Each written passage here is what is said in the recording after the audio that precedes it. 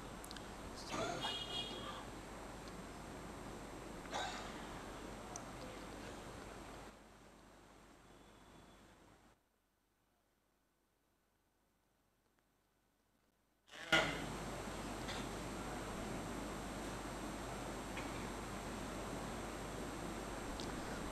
ला हौल वला क़ुव्वत इल्ला बिल्लाहिल अलिय्यिल अज़ीम हस्बुनल्लाह व निअमल वकील निअमल मौला व निअमन नसीर बिस्मिल्लाहिर रहमानिर रहीम अल्हम्दुलिल्लाहि रब्बिल आलमीन बारिल खलाइक़ अजमईन व बाइसिल अम्बिया वल मुरसलीन अल्लदी बउदा फ़ला युरा व करबा फ़शहदन नजवा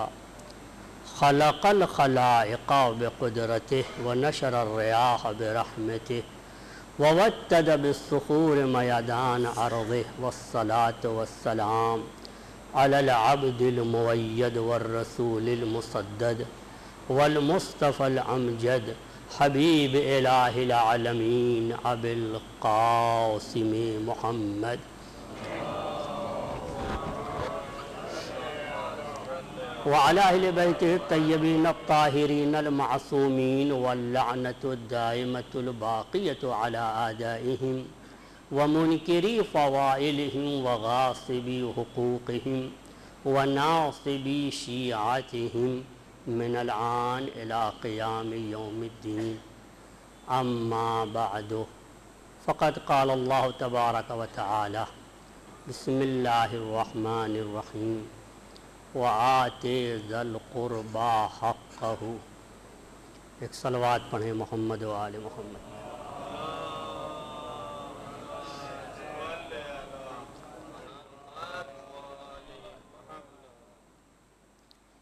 ये आय करीमा सूर बनी इसराइल की आयत है। व आते ज़लक़ुरबा हक़हू सूर बन इसराइल के बारे में सरकार दो अलैहि वसल्लम फरमाते हैं। एक सलवात पढ़ें बुलंद आवाज़ से।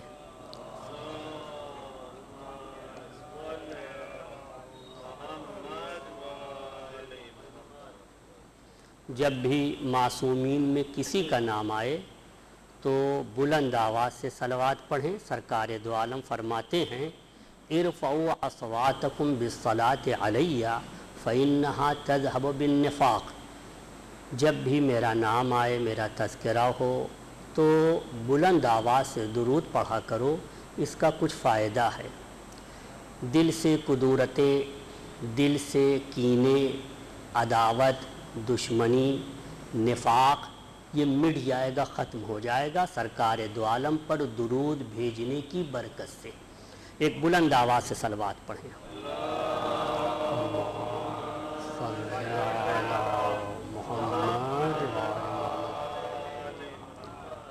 फरमाते हैं, मन करा, सूरत बनी इसराइल, वरक कल्ब हो इंदा ज़िक्र वालदैन, जो सूरह बनी इसराइल की तिलावत करे।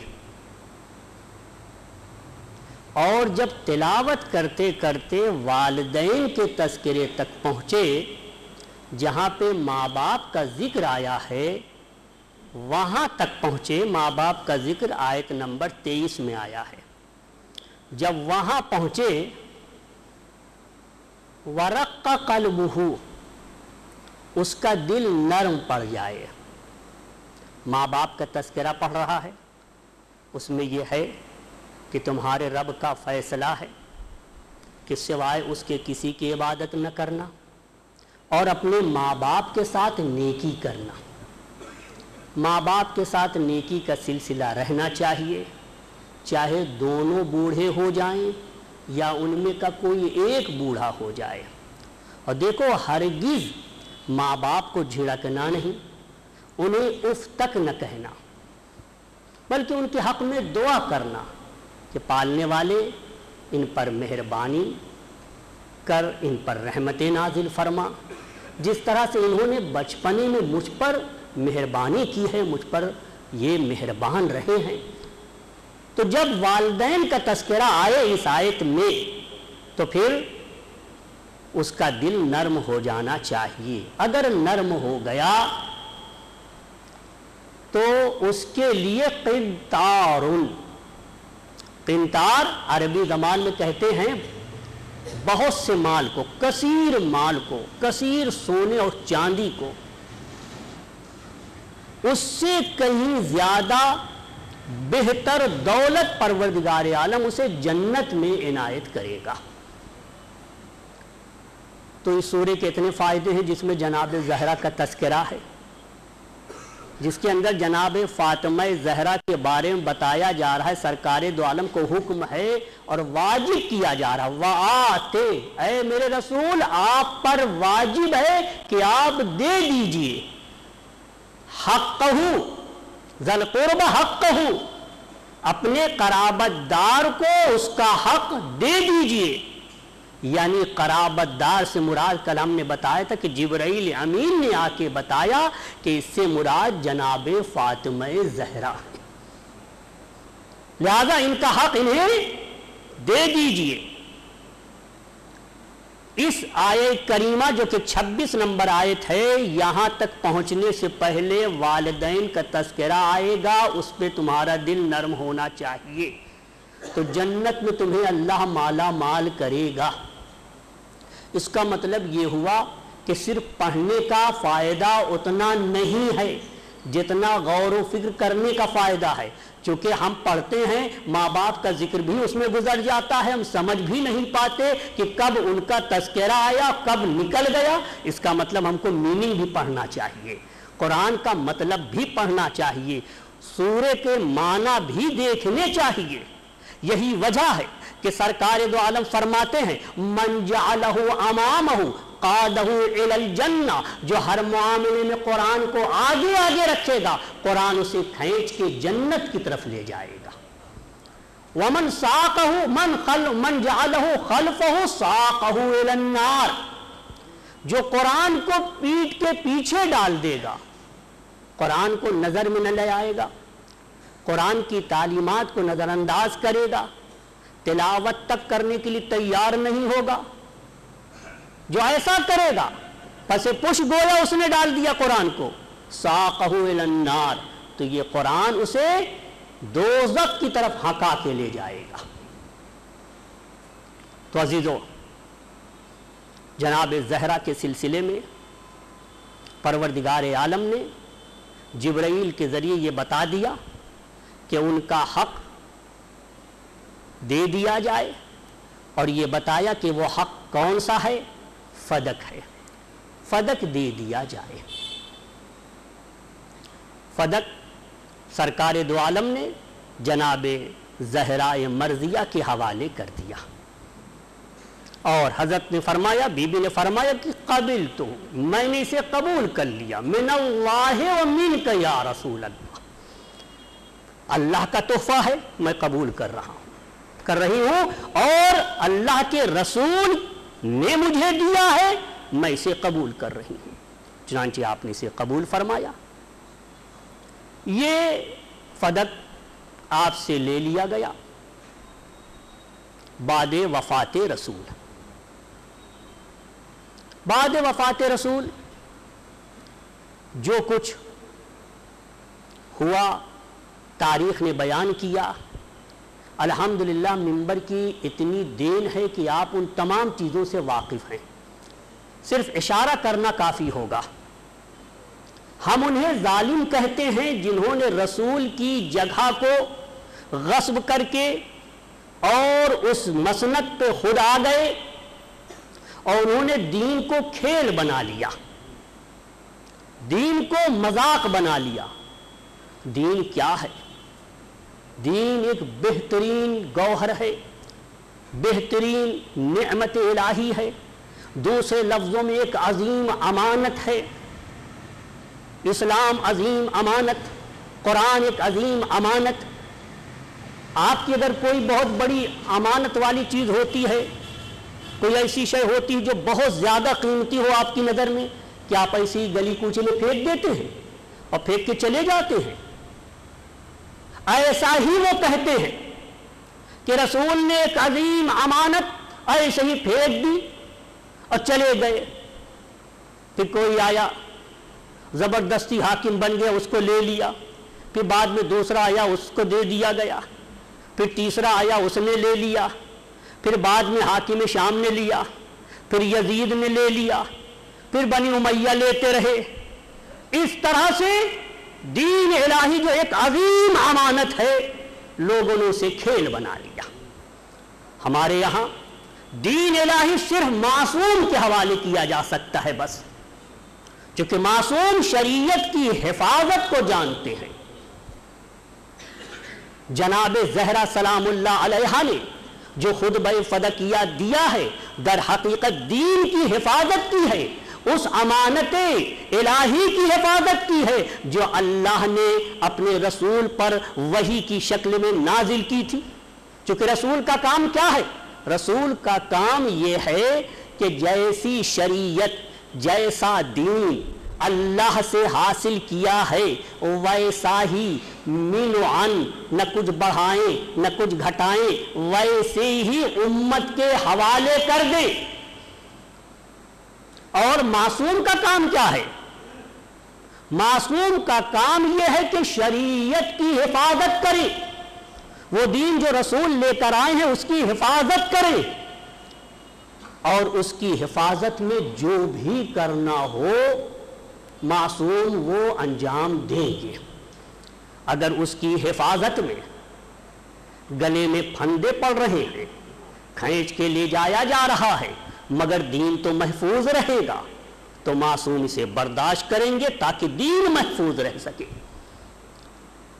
अगर उसकी हिफाजत में इमाम हसन को सुलह करना पड़े तो सुलह करेंगे ताकि दीन महफूज रह सके। अगर उसकी हिफाजत में इमाम हुसैन को जंग करना पड़े तो जंग करेंगे ताकि दीन महफूज रहे। तो मासूम का काम है दीन को महफूज रखना।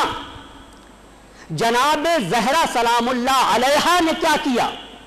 जनाब जहरा ने यही किया हमने आपकी खिदमत में जो मौजू पेश किया था, ज़रा उस पर तवज्जो दीजिए, मौजू क्या है? तारुफ जहराए मर्जिया, बजरिय खुदब फदकिया, जनाब जहरा ने खुदब फदकिया देकर अपना तारुफ कराया है और ये बताया है कि देखो, तुम दीन को मिटाने की कोशिश करोगे, हम दीन को बचाने की कोशिश करेंगे।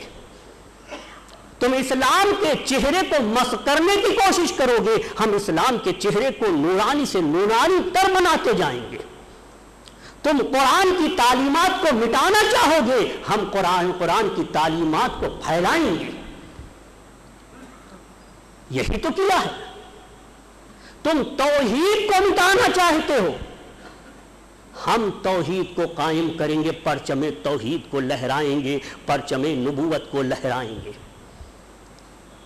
तो जहराए मर्जिया का जो आप तारुफ सुन रहे हैं, दर हकीकत इसमें बीबी की शनाख्त इस एतबार से भी है कि बीबी को पहचानो कि कैसे आपने दीन की हिफाजत की है।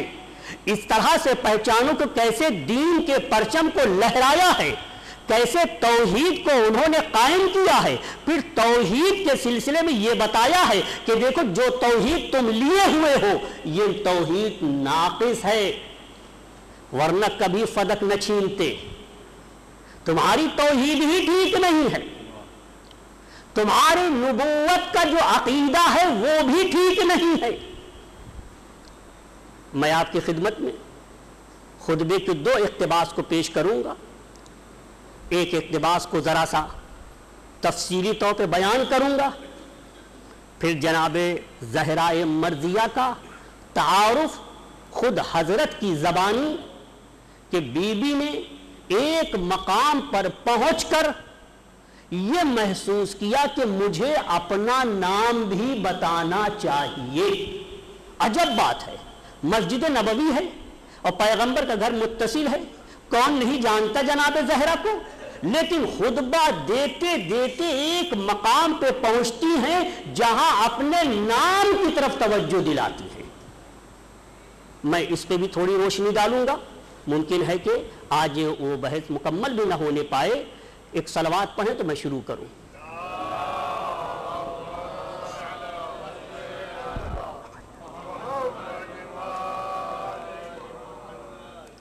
अब्दुल्ला इब्न हसन ने अपने आबा अजदाद के ज़रिए से उनके इसनाद के साथ रिवायत को नकल किया है और नकल किया है, कुछ अल्फाज आपकी खिदमत में पेश किए।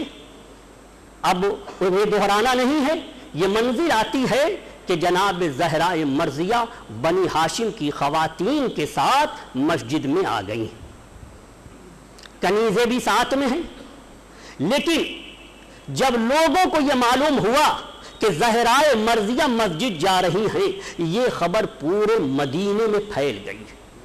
गोशे गोशे से लोग आने लगे, जमा होने लगे। कहा?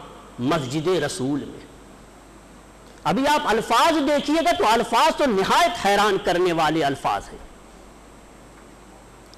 कि बीबी दाखिल हुई वह वफ़ी हशदिन मिनल मुहाजरीन वल अंसार वगैरह फ़नी तदो नहा मुलातन, फ़जलसत सुम अन्नत अन्नतन। अजहशल कौम लहा बिलबुका फ़रतजल मजलिस सुम अमहलत हुनय अतन हत इदा सकन नशीजुल कौम वहदत फ़ौरतहुम इफ्ततहतिल कलाम बिहमदिल्लाह ताला वस्सनाए अलैहि सुम अम सकत वा सबरत हत्ता नसजा नशीजुल कौम वहद अत फौरत हूँ बीबी मस्जिद गई मस्जिद में जब तशरीफ़ ले गई वह वह हशदुन मस्जिद पूरी भरी हुई थी, लबरेज थी। हाँ बिल्कुल लबरेज थी। अम्बो है कसीर मजमय कसीर ठसा ठस मजमा है, तिल रखने की जगह नहीं। कौन कौन था उसमें? मुहाजरीन थे, अंसार थे, ये दो तो इसमें खुतबे में आए हैं। वगैर कुछ ऐसे लोग भी थे जो न मुहाजरीन में से थे, न अंसार में से थे। ये खुतबे में आया है लफ्ज। ये मेरी तरफ़ से नहीं है।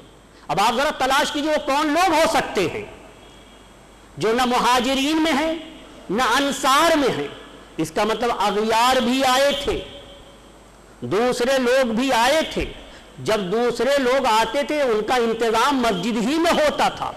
असाब सुफ़ा, उनके लिए एक चबूतरा था, जो मेहमान बाहर से आते थे, उनके लिए भी मस्जिद में जगह होती थी। पूरी मस्जिद भरी हुई थी। बीबी तशरीफ़ ले गई, फनी तदून मुलाअतुन। बस, एक पर्दा लटकाया गया। फजल असद, बीबी पर्दे के पीछे बैठ गई।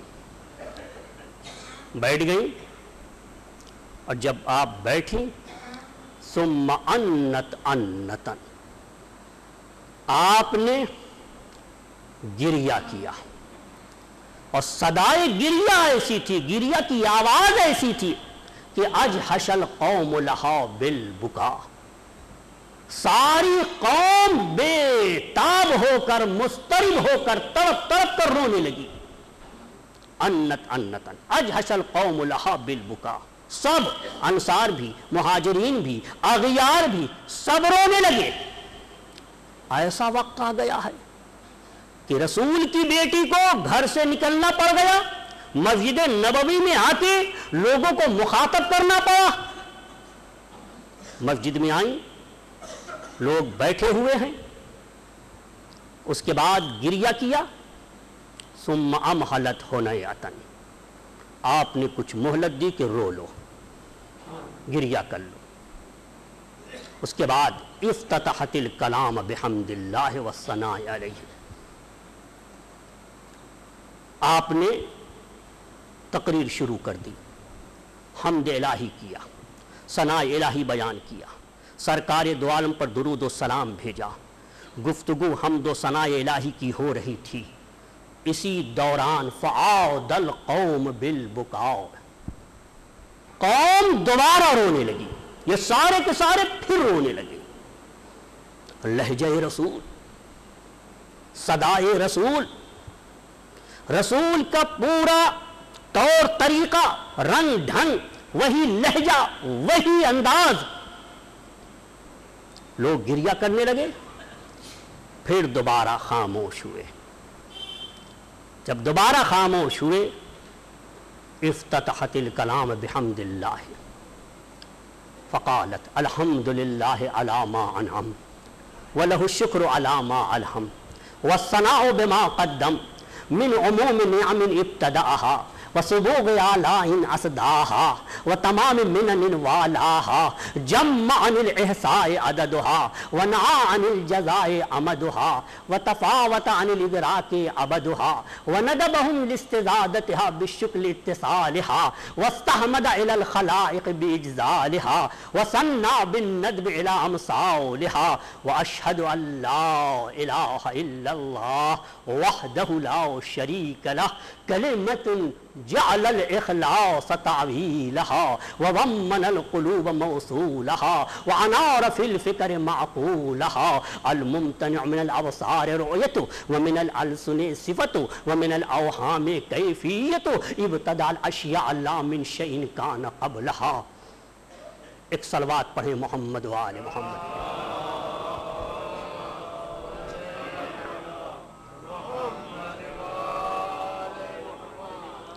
अल्हम्दुलिल्लाह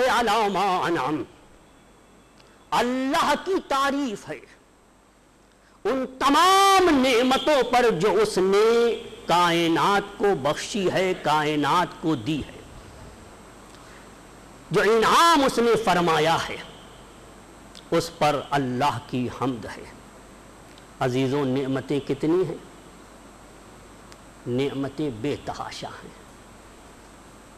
कोई अल्लाह की नेमत को शुमार नहीं कर सकता।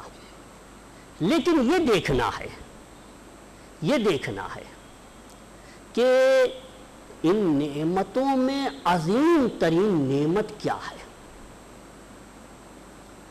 ये तो इंसान चल रहा है रास्ते में, ज़मीन पे पैर पड़ा तो ज़मीन में उसके पैर का निशान पैदा हो गया। एक जानवर गुजरा, उसके पैर के निशान आ गए कभी वो फुजला मेंगनी कर देता है तो मेघनी पड़ी रहती है। तो ये जो पैर के निशान हैं, ये क्या बताते हैं? ये बताते हैं कि यहाँ से गुजरने वाला गुजरा है। इंसान का कदम है तो पता चल जाएगा, इंसान गुजरा है। दूसरे और के कदम है तो उससे ये पता चल जाएगा कोई और गुजरा है। मेंगनी पड़ी है तो इससे आप समझेंगे कि वो जानवर गुजरा है जिसकी ये मेंगनी है। इनसे आपने ये अंदाज़ा लगाया कि इस तरह से हुआ है। तो ये आसमान, ये ज़मीन और ये चाँद और सितारे, ये नजूम और कवाकिब, क्या ये नहीं बताते कि एक है जो हमें वजूद दिया है जब पैर का कदम बता रहा है कि पैर पड़ा है तो निशान आया है। तो क्या ये चाँद, ये सूरज, ये आसमान और ये ज़मीन नहीं बताते कि कोई है जिसने हमें पैदा किया है? कोई है जिसने हमें ईजाद किया है? यकीनन बताते हैं। तो इन सबसे आपने अल्लाह को पहचाना। लेकिन हमें आप बताइए, इन सबसे अगर आपने अल्लाह को पहचाना तो इसकी ज़्यादा कीमत है कि अगर आपने अल्लाह को पहचाना अली के ज़रिए, अल्लाह को पहचाना फातिमा के ज़रिए किसकी ज़्यादा अजमत है। अजमत इनकी ज़्यादा है, क्योंकि ये सिर्फ़ यही नहीं बताएँगे आसमान और ज़मीन। ये अपने वजूद को भी बताएँगे। देखो, अल्लाह जब इरादा करता है तो कायनात का जर्रा जर्रा उसकी इतात करता है। हम भी जब इरादा कर लेते हैं तो हमारी भी हर शय इतात करती है।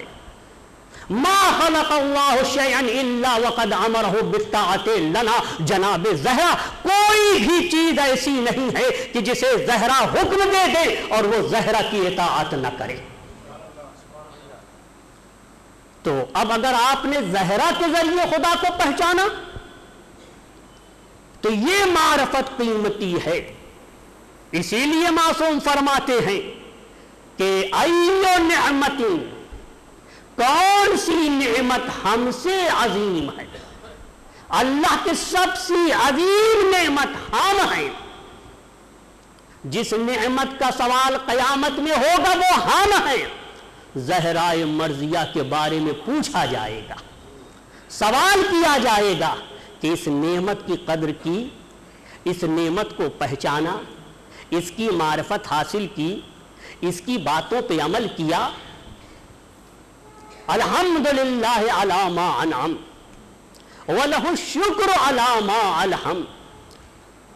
और अल्लाह का शुक्र है, इस बात पर कि उसने हमें इल्हाम किया है। हम कोई बात अपनी तरफ़ से नहीं करते, जिस तरह से मेरा बाबा बगैर अल्लाह की वही के कलाम नहीं करता, हम भी बगैर वही इलाही के, इल्हाम इलाही के कलाम नहीं करते। इल्हाम क्या है? लगत में जाके देखे नौ मिनल वही वही की एक किस्म का नाम है इल्हाम। अल्लाह की हमद है, उसका शुक्र है कि अल्लाह ने इल्हाम फरमाया तो हम कलाम कर रहे हैं। जहरा मर्जिया को पहचानो कैसी ज़ात है। खुद बे जहरा को पढ़ो, इसके तर्जुमे को देखो, इसके मानी को समझो। वह शुक्र अलामा अलहम। वह सनाओ बेमा कदम और उसकी सना करती हूँ, उसकी पेशगी नेमतों पर, उन नेमतों पर जो उसने इस दुनिया में भेजी है। वह सनाओ बेमा कदम मिन उमो में न्याम तदाहा वह सुबोग आलाइन असदाह, उसकी नेमतें जिसका उसने आगाज़ किया, जिन नेमतों को उसने शुरू किया वह सुबह आलाइन असदाहा, उसकी एक एक नेमत कामिल हैं जो उसने इंसानों को मखलूक को अता की हैं। वह तमाम मिनन वालाहा, उसके मुकम्मल एहसानात पे, दर पे इंसानों पर मखलूक पे जारी हैं। तमाम मिनन वालाहा जम अनिल एहसाए अददहा। अल्लाह की नेमतों को शुमार करना इंसान के बस की बात नहीं, वो कसीर है। लातादाद है जम अनिल अददुहा व अनिल जजाए अमदुहा। और उनका शुक्रिया भी अदा नहीं किया जा सकता, चूँकि वो लामतनाही है। शुक्रिया कैसे अदा करेंगे? फ़र्ज़ कीजिए, आपके एक दोस्त ने आपको कोई तोहफा दिया। कलम दिया, किताब दी, कोई गिफ्ट दिया, आप क्या करेंगे? आप भी उसको एक गिफ्ट देंगे, आप भी उसको एक तोहफा देंगे, यही तो करेंगे आप। अच्छा तो इस तरह से उसका शुक्रिया अदा हो गया। उसने तोहफा दिया, आपने भी दिया। उसने कोई नेकी किया आपने भी नेकी कर दी। यही तो शुक्रिया हुआ। अब अल्लाह का शुक्रिया कैसे अदा करेंगे? कैसे अदा करेंगे? किस तरह से अदा करेंगे? अब यही तो करेंगे कि उसी से लेंगे, फिर उसी को दे देंगे। यानी उसी की चीज़ लीजिए, फिर उसी को दे दीजिए। क्या इस तरह से शुक्रिया होगा? हम उसका शुक्रिया कैसे करें करें? उसी का लेकर फिर उसे दे दें। ये सांस उसी की है। हम चाहते हैं शुक्रिया अदा करें। शुक्रिया अदा कर रहे हैं। उस दौरान भी कई सांस ले ली। तो कैसे शुक्रिया अदा करेंगे? और कब शुक्रिया अदा हो पाएगा? क्योंकि जितनी बार शुक्रिया अदा करेंगे, उतनी बार कई कई साँसें लेंगे। उन सांसों का क्या होगा जो हम इस दौरान ले रहे हैं? लिहाजा, हम उसे कुछ दे नहीं सकते। बस यही एतराफ कर लीजिए। यही मान लीजिए कि सब कुछ उसी का है और उसका शुक्र है, लेकिन मैं उसका शुक्र अदा नहीं कर सकता। यही शुक्र है आपका, यही शुक्रिया है आपका। ना अनिल जजाए अमदुहा, व तफावत अनिल इदरा के अबदुहा। हमेशा हमेशा के लिए हमेशगी के लिए खुदा के इदराक को, खुदा के समझने को, खुदा के सिलसिले में शोर को दूर रखा गया है। इंसान मुकम्मल खुदा को समझ भी नहीं सकता। इब्तदाल अशिया लामिन शैन कबलहा। उसने कायनात को ईजाद किया, अशिया को पैदा किया, मगर कोई चीज़ पहले नहीं थी कि उससे उसने दूसरी चीज़ों को बनाया हो। इब्तदाल अशिया लामिन शैन कान कबलहा वम तसलहा उसने किसी नमूने को अपना लिया हो। और उस नमू, नमूने को देख के दूसरी चीज़ें बनाई हो। ऐसा भी नहीं है। उसने ये भी नहीं किया बगैर नमूने के। अल मुमतन मिनल अवसार रोयतो व मिनल अल सुने सिफतो। बीवी फरमाती हैं वाशहद अल्लाह वहदहु ला शरीक लह। इखलास तावीला मैं गवाही देती हूँ कि खुदाए वहदहु ला शरीक के अलावा कोई मबूद इबादत के लायक नहीं है, परस्तिश के काबिल नहीं है। कलेमतुन, ये एक ऐसा कलमा है जालल इखलास तावीलहा अल्लाह ने इस कलमे को सिर्फ़ जबान पे जारी करने का हुक्म नहीं दिया कि खाली ला इल्लल्लाह बोलते रहो, बल्कि इखलास इसके बातिन में अल्लाह ने रखा है। अगर इखलास नहीं होगा तो कभी ला इल्लल्लाह कबूल नहीं किया जाएगा। एक सलवात पढ़े मोहम्मद वाले मोहम्मद पे।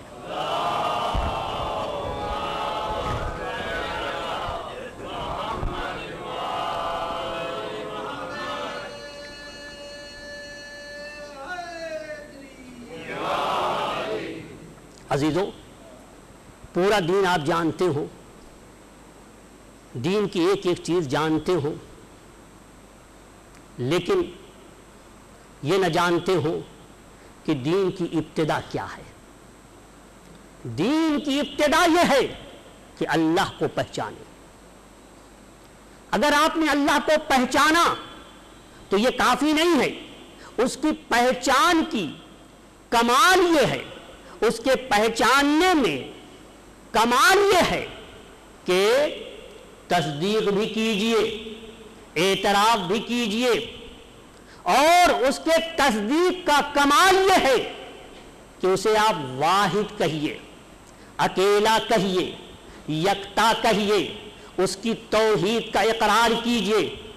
तोहीद का इकरार भी काफ़ी नहीं तोहीद का इकरार करने के बाद ज़रूरी है कि तोहीद को खालिस रखिए। तोहीद को खालिस बीबी फरमाती, जालल इखलास तावीलहा। कलम तोहीद में इखलास को अल्लाह ने बातिन में रखा है।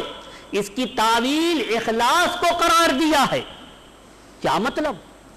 ज़रा इस मतलब को समझिएगा। अगर आप समझना चाहते हैं और आपकी तवज्जो हमारी तरफ़ है तो फिर इसके लिए बुलंद आवाज़ से सलवात पढ़ें तो अर्ज़ करें।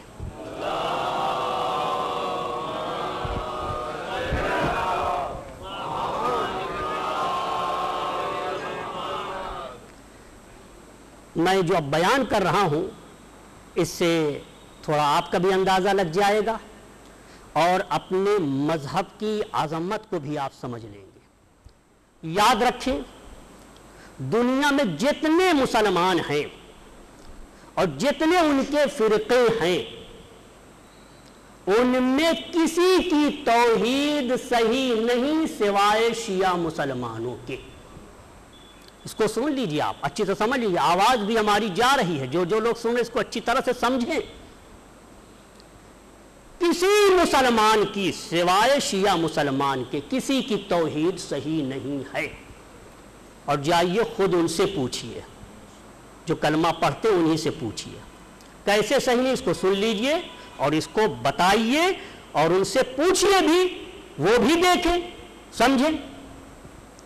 कैसे सही नहीं है? सही इस तरह से नहीं है कि हमारे यहाँ ज़ात और सिफात में फ़र्क नहीं है। अल्लाह की ज़ात और अल्लाह के सिफात में फ़र्क नहीं है। बिल्कुल नहीं है। शियों को छोड़ दीजिए। अब जाइए दूसरे फिरकों के पास। वो या तो सिरे सिरे फ़र्क के कायल हैं या कहीं इख्तलाफ करते हैं कुछ। ऐसा होना चाहिए ऐसा नहीं है और इस तरह से हो इस तरह से बहस करते हैं। तो वो क्या कहते हैं? वो कहते अल्लाह की ज़ात है और अल्लाह आलिम भी है। तो ज़ात कदीम, ज़ात के साथ आलिम होना अलग से है, वो भी कदीम। यानी ज़ात अलग, आलिम होना अलग। अल्लाह कादिर भी है तो ज़ात अलग, कादिर होना अलग। अल्लाह समी है, सुनता है। अल्लाह की ज़ात अलग और सुनने वाला होना अलग। यानी ज़ात के ऊपर एक चीज़ आपने लगा दी। एक ज़ात है कि जिसके अंदर ये बात अलग से आई है कि वो सुनने वाला है। एक ज़ात है जिसके अंदर ये बात अलग से आई है कि वो इल्म रखने वाला है। आप अच्छी तरह समझ रहे हैं? अच्छा हो सकता है शायद किसी के समझ में ज़रा सा दिक्कत पैदा हो रही तो उसको हम और आसान बना देते हैं। एक सलवात पढ़े तो आसान बना दे।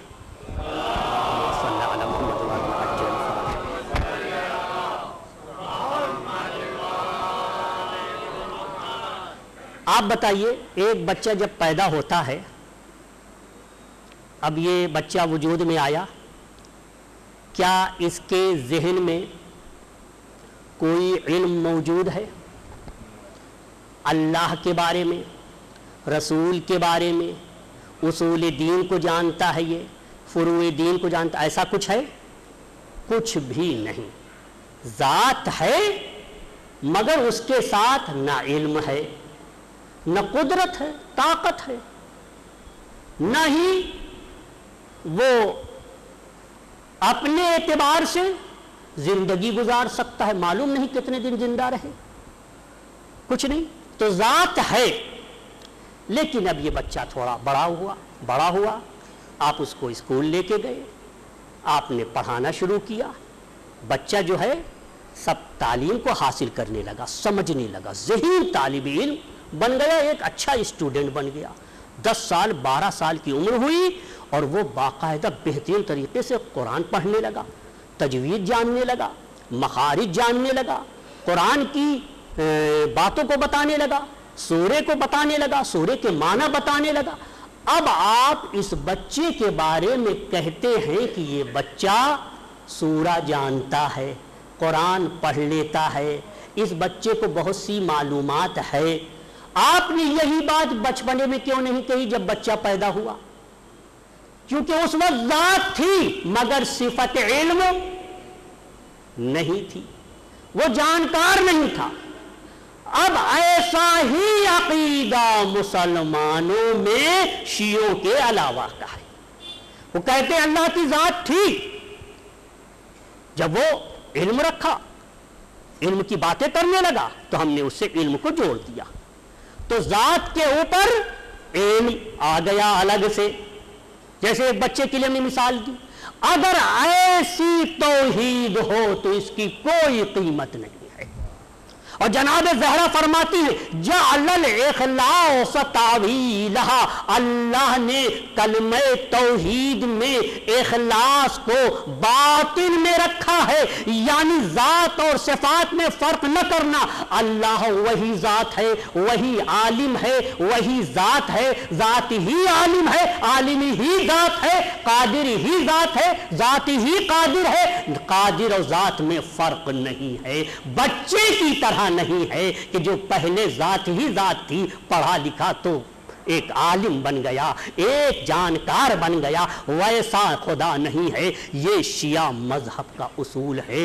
ये तोहीद, ऐसी तोहीद जनाब जहरा ने अता की है। ऐसी तोहीद हमें सिखाया है। हमारी तोहीद की तरह कायनात में किसी मुसलमान की तोहीद नहीं है। एक सलवात पढ़े मोहम्मद वाले मोहम्मद।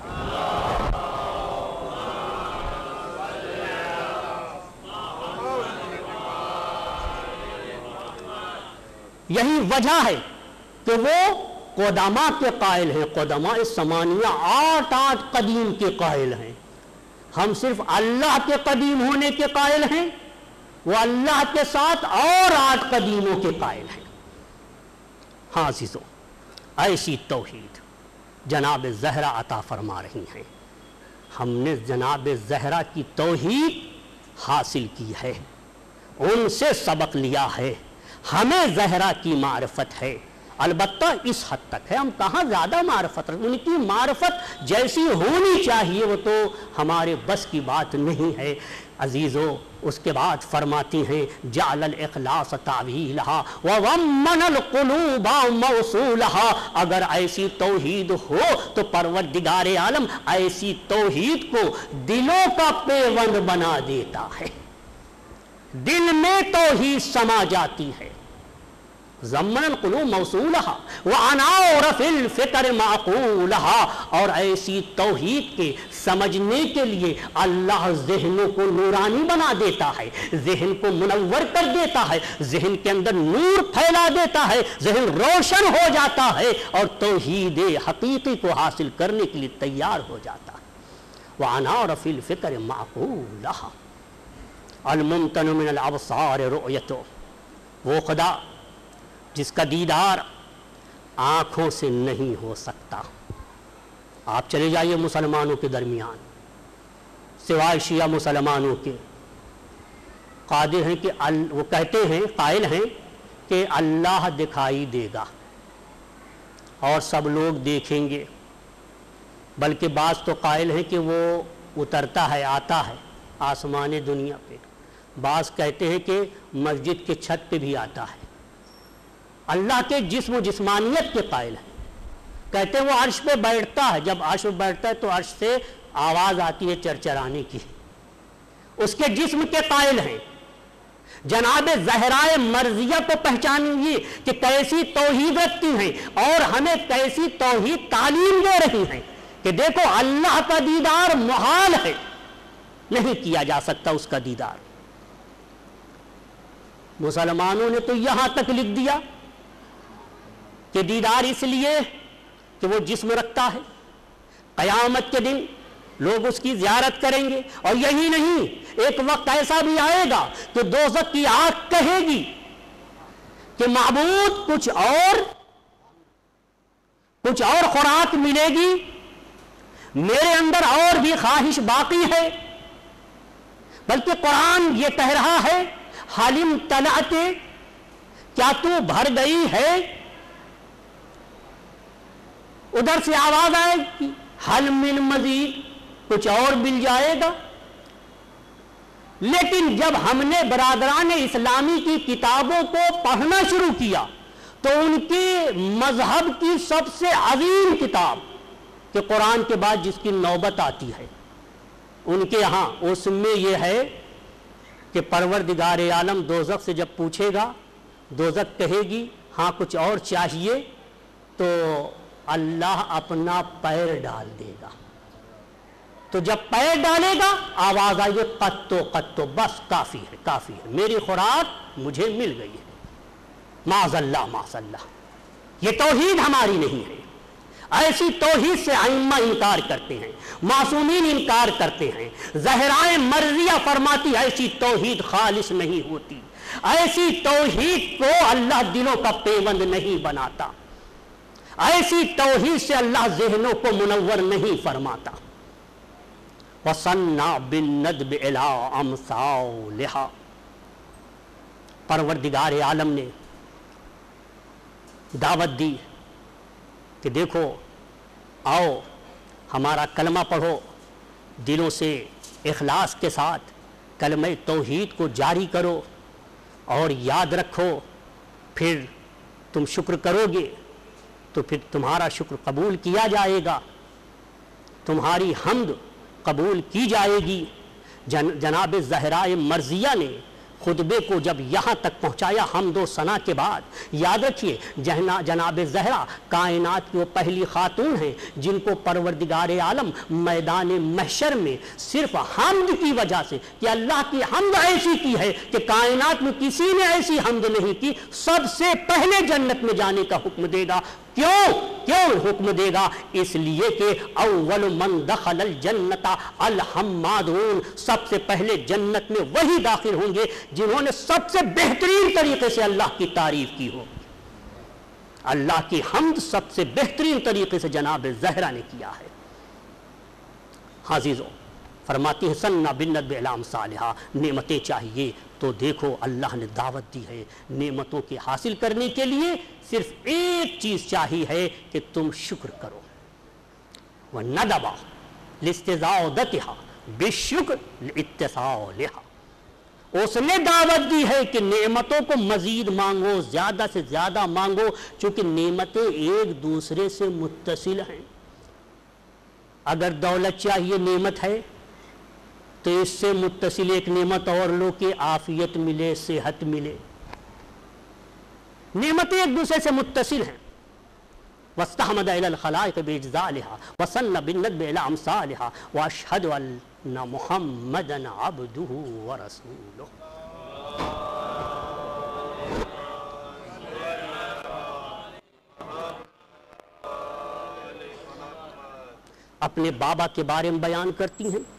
जितने अल्फाज जनाब जहरा ने इस्तेमाल फरमाए हैं, जितने अल्फाज आपने इस खुतबे में बयान किए हैं, कहीं भी ये नहीं फरमाया कि देखो मैं रसूल की बेटी फ़ातिमा हूँ। लेकिन एक मौका ऐसा आता है, खुतबा देते देते जब फ़लसफ़ा बयान करने लगती हैं, अहकाम के फ़लसफ़े को बयान करती हैं इल्लतों को बयान करती हैं और वजहें बताती हैं। नमाज़ किस लिए रखी गई है? रोज़ा किस लिए रखा गया है? हर एक का क्या क्या मकसद है? हज का मकसद क्या है? ज़क़़त का मकसद क्या है? जब मकासद बयान करती हैं, बयान करते करते आखिर में फरमाती हैं, वालमो अन्नी फ़ातिमा, जान लो कि मैं यकीनन फ़ातिमा हूँ। आपको मालूम वालमू कौन सा लफ्ज़ है? वालमू का मतलब होता है, तुम जान लो। और ये लफ्ज़ अरबी में अम्र का लफ्ज़ है। मतलब क्या हुआ अम्र का? यानी मतलब ये हुआ कि तुम सब पर मेरी मार्फत वाजिब है। और मार्फत भी ऐसी नहीं जो शक वाली हो। वालम इल्म के साथ। यकीन के साथ, मुकम्मल तौर पर, कतई तौर पर तुम मुझे जान लो कि मैं फातिमा हूँ। अजीज़ो, इस लफ्ज़ पे इंशाल्लाह हम गुफ्तगु करेंगे। आज हम थोड़ी सी गुफ्तगु, थोड़ी सी करेंगे, सिर्फ़ लफ्ज़ पे गुफ्तगु करेंगे। माना पे नहीं, इसकी मीनिंग पे नहीं, लफ्ज़ पे। ये लफ्ज़ फातिमा आपने फरमाया कि जान लो कि मैं फातिमा हूँ। यानी फिर लोगों पे वाजिब है कि फातिमा को पहचाने। कैसे पहचाने? नाम से पहचाने। कैसे पहचाने? लक़ब से पहचाने। किस तरह पहचाने? हसब से पहचाने। किस तरह पहचाने? नसब के ज़रिए पहचाने। नाम भी जानना वाजिब है।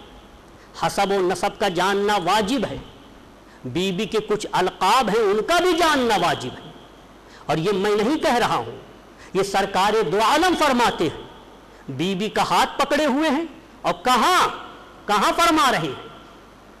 कुछ लोग मौजूद हैं जो खैर पैगंबर के बहुत ही बरजस्ता साहब में से, जिनका नाम सर फहरिस्त आता है, उनके सामने फरमा रहे हैं, मन आरफहा आरफहा।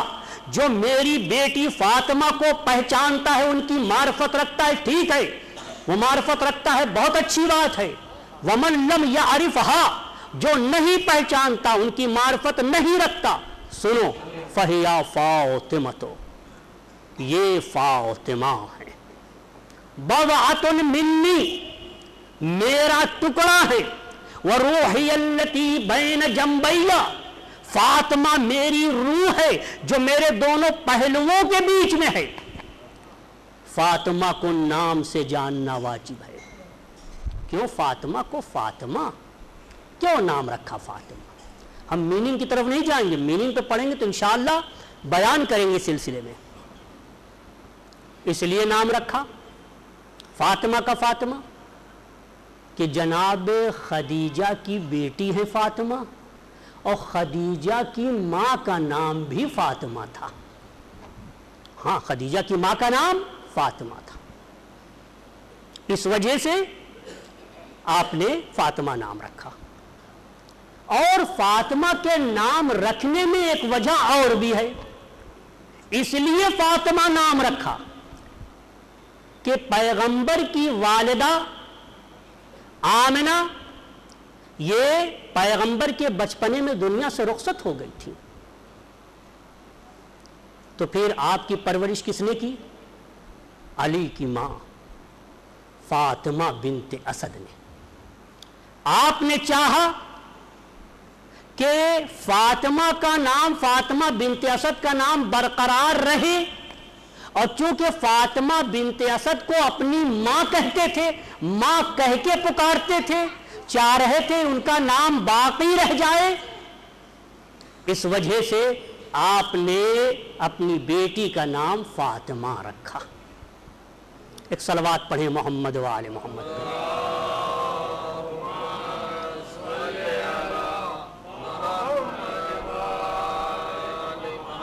और इस वजह से भी रखा कई वजह इसके अंदर सिमट के आती हैं कि जिस वक्त जनाब जहरा मर्जिया की विलादत होती है।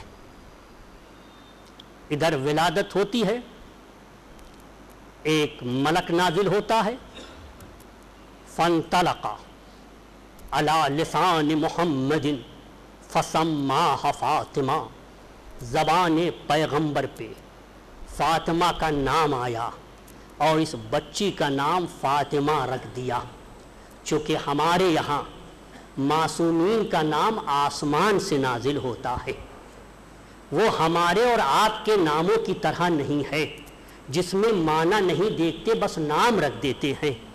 ऐसा अहले बैत के यहाँ नहीं होता, रसूल के घराने में नहीं होता। वहाँ नाम बिल्कुल माना के साथ मुनासिबत रखना चाहिए। इसलिए आपका नाम फातिमा रखा। बस अजीज़ों फातिमा, वही इलाही के ज़रिए से आपका नाम रखा जाता है, फातिमा। अजीज़ो, इस वही को अल्लाह पैगंबर पे नाजिल करता था, और वही लाता कौन था? जिब्राइल लाते थे। और जिब्राइल जब वही लाते थे तो पैगंबर के पास वही लेके आते थे। पैगंबर ख़ान फातिमा में हैं और वही जिब्राइल लाएँगे। कहाँ से जाएँगे? किस जगह से जाएँगे? दरवाजे से जाएँगे। अंदर जाके वही बयान करेंगे। अजीज़ो, इसी दरवाजे पे। जिस दरवाजे से जिब्राइल जाते थे, घर के अंदर मातम हो रहा है। पैगंबर दुनिया से जा चुके हैं। गम मनाया जा रहा है। जहराए मर्जिया बुलंद बुलंद आवाज़ से धाड़े मार मार के रो रही मौलाए कायनात गिरिया फुगा कर रहे हैं। इमाम हसन, इमाम हुसैन तड़प तड़प के रो रहे हैं। एक मर्तबा किसी ने दकुलबाब किया। दरवाज़ा खटखटाया।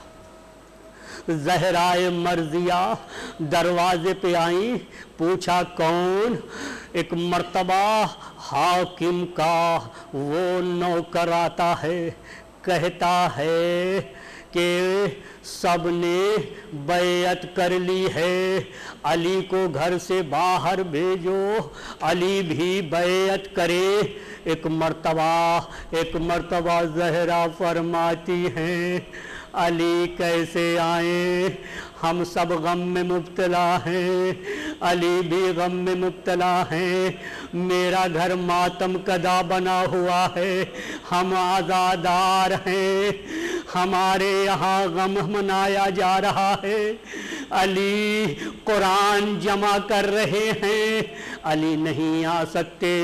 हाँ दादारो एक मर्तबा। उसने कहा, अली को बाहर निकालो, वरना हम आग और लकड़ी से इस दरवाजे को जला देंगे। हाँ आज़ादारो बताइए, जहराए मर्जिया ने जब कहा कि वापस चले जाओ, इस घर में गम मनाया जा रहा है। हम अहले आज़ा हैं? क्या वो वापस गए? नहीं नहीं। मैं अपने दीन की कसम खाता हूँ। जो मैं अकीदा रखता हूँ, मैं उस अकीदे की कसम खाता हूँ। जिस दरवाजे से जिब्राइल वही लेकर आते थे, जिस दरवाजे से जिब्राइल पैगंबर की खिदमत में आते थे, जिस दरवाजे पे खुद रसूल खड़े होके सलाम करते थे अहले बैत को उस दरवाजे पे आग और लकड़ी लाई गई। एक बर्तबा आग लगा दी गई। आग जलने लगी, दरवाज़ा जलने लगा। एक मरतबा दरवाजे में धक्का मारा, दरवाजे पे धक्का मार के बहुत से लोग अंदर चले आए। हाँ दारो जहरा दरो दीवार के बीच में है। अजीजो, लेकिन जहरा को अपनी फ़िक्र नहीं है। जहरा को अपनी फ़िक्र नहीं है। एक मर्तबा देखती है कि मेरे शौर अली के गले में रस्सी डाल के कैच के ले जाया जा रहा है जहराए मर्जिया एक मर्तबा बाहर निकल आती। बाहर निकल आती है। आजादारो बाहर निकल आती है। एक आवाज़ देती है, खल्लू अबुल हसन मेरे शौहर अबुल हसन को छोड़ दो, वरना मैं हाथों को आसमान की जानी बुलंद कर दूँगी। अगर मैंने बुलंद कर दिया हाथों को तो फिर इस रुए ज़मीन पर जालिम टिक नहीं सकता। हाँ दादारो लेकिन एक मरतबा एक मरतबा अली ने इसका एहसास कर लिया। सलमान से कहा अरे सलमान, कहीं फातमा ने हाथों को बदुआ के लिए उठा दिया तो फिर गजब हो जाएगा। मदीना तहस नहस हो जाएगा। अरे सलमान, जाओ जाओ और जाके जाके जहरा से कहो बदुआ न करे बदुआ न करे। अभी ये तो छोटी मुसीबत है। इस पे इन्होंने रहम न किया। आजादारो आप जरा अंदाज़ा लगाइए। जहरा किस अंदाज से कह रही थी, मेरे शौहर को छोड़ दो, मेरे शौहर को न ले जाओ, मेरे शौहर को अजियत न दो। हाजी दो क्या लोगों ने रहम किया? नहीं, रहम न किया, रहम न किया। किसी पे रहम न किया, न जहरा पे रहम किया गया। न आपके शौर पे रहम किया गया। मैं कहूँगा, ऐसी आज़ादी आपके बेटे हसन पे भी रहम न किया गया। आपके बेटे हुसैन पे भी रहम न किया गया, बल्कि ये नौबत भी आई। एक मरतबा शिमर मलोन आगे बढ़ता है। सीने पे सवार हो जाता है। जब सीने पे सवार होता है तिल कल हाओला एक मरतबा हुसैन मजलूम उस हालत में जब खंजरे शिमर हुसैन के गले पर है, उस हालत में कहते हैं अय शिमर क्या एक घूट पानी मुझे पिला देगा? अगर तूने मुझे एक घूट पानी पिला दिया, क्या करूँगा मैं तुम्हारे लिए? जद्दी लता कफीर नाना से कहूँगा, तेरी बख्शिश करा देंगे, जन्नत की जमानत ले लेंगे। अभी भी मौका है, जरा देखिए इस खानदान को, कितना मेहरबान है। हाँ आजादारो एक मरतबा फस्तस्ता की तिलकल हालत, उस हालत पानी मांग लिया। क्या उस मलून ने पानी दिया? नहीं अदादारो पानी नहीं दिया। अरे थोड़ी देर के बाद, उसके दामन में एक चीज़ थी एक चीज़ थी कौन सी चीज़ थी हाँ दादारो, इतना बताए देता हूँ। ऐसी चीज़ थी कि फुरात का पानी नए दो चलने लगा। ज़मीन करबला पे जलजला गए एक मरतबा उसने अपने दामन को खोला। खून भरा सर दिखा दिया। और ये सर एक मरतबा नेजे पे नस्ब हुआ। इमाम जैनुलाबदीन ने फरमाए पुपी जान, कैसा जलजला है? अरे क्या बात है? एक मरतबा आपने फरमाए पुपी जान, जरा खैमे का पर्दा हटाइए खैमे का पर्दा हटाया। बाबा को नौ के नैजा पे देखा, जैसी नौ के नैजा पे देखा, फरमाया, सलाम या बाबुदिल्ला।